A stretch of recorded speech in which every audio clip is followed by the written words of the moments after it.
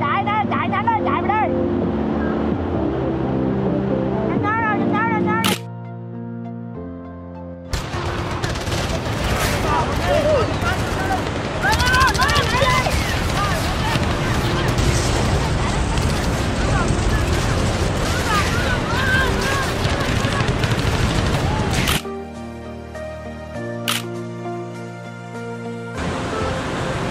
Các bạn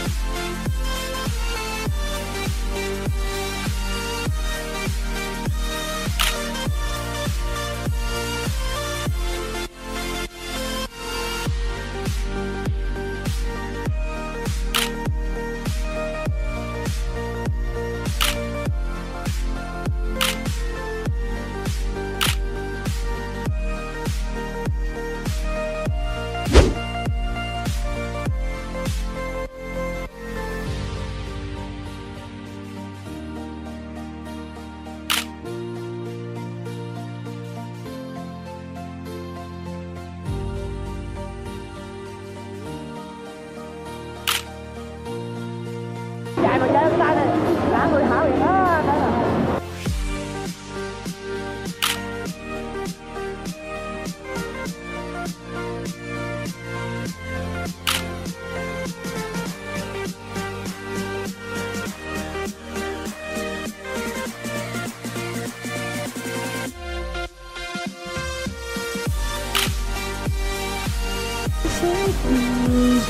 rồi đẹp á tự nhiên ra mới tắm rồi chứ sẻ clip này lên rộng rãi nha.